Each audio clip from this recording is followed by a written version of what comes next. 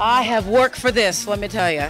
It did not come easy. Ran in Central Park this morning and lifted some weights this afternoon. Valentino, out the store, off the rack. That's a wonderful thing about being in a size that you can get into. Last year, you know, I was trying to find somebody to make something, put two dresses together and help me out. This year, that didn't have to happen, so that was great.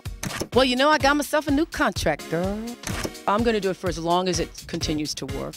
There's nothing that I don't do because I'm so called famous.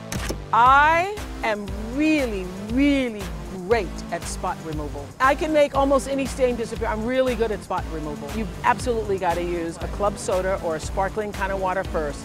You let that sit for about a minute. It bubbles up, it fizzes. Do not put anything on it. How do I know? Because I have a young dog. I'm a great pooper cleaner upper. I know how to do it. And when you've had as many dogs as I have, and you I trained my own dogs too. I trained three dogs at one time. I almost lost my mind. You make me feel like I'm running for president or something. In order to be successful, you have to do work that is meaningful to you. I don't think that I could do this talk show every day. I don't think that I could do the kind of charitable work that I am involved in if I didn't have a sincere interest in it. If I'm your friend, never a hint of jealousy.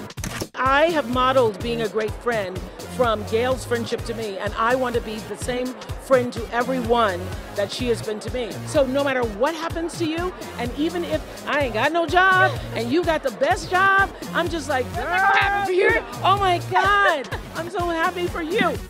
Don't even try coming here faking that you did something when you didn't really do it.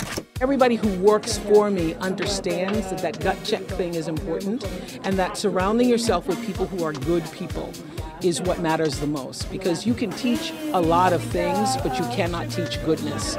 This is my constant wish for myself, is that I fulfill the potential of my being, that I live up to what the Creator intended for me.